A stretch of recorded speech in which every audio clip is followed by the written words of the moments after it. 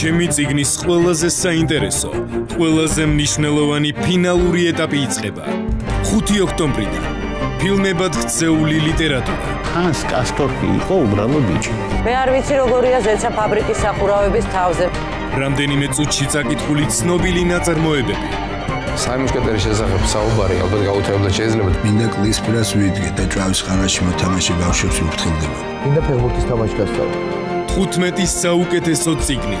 99 ფრანკი. დოსტოევსკი ოღონდ ზომიერად. ეს ციგნი დაიწერა ამოცებში. დიდი ლიტერატურული მარათონის ფინალში. რამ დააწერინა ასეთი დაუნდობელი ნაწარმოები? ეს არის დიდი ლიტერატურა. ეპიზოდი, რომელიც ციგნში არ შევიდა. იბრძოლე, რომ შენი ციგნი იყოს პირველზე. სამუდამო დამამახსოვრდა ეს ფრაზა. ყოველ კვირას 21 საათზე